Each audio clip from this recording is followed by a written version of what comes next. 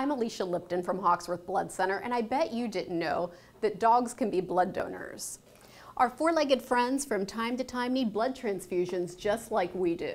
The Care Center Animal Hospital is partnering with Hoxworth Blood Center to host a blood drive for people and their dogs on Saturday, September 17th between 10 a.m. and 3 p.m. The first 20 dogs and people to register will receive a goodie bag. Call 513-451-0910 or visit hoxworth.org and tell them Buckley sent you.